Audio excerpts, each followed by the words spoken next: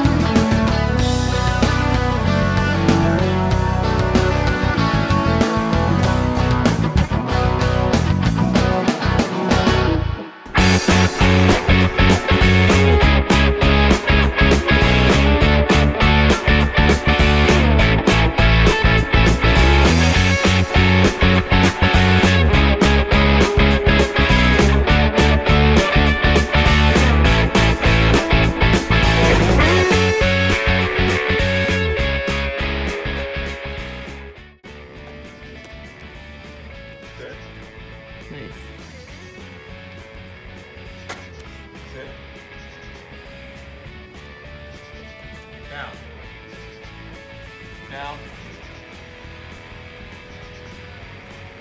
Jaggar, come. Nice. Good boy. Sit. Sit.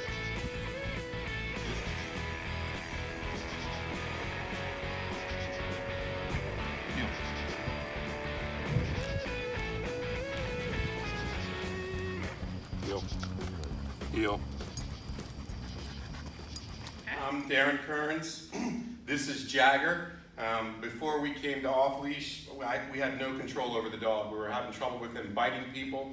We were having trouble with him getting so excited he was peeing on the floor. Um, nobody in the house could even actually physically handle him but me.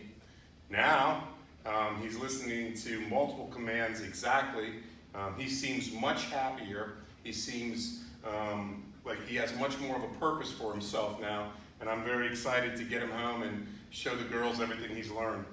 Thank you. Jaggar, come.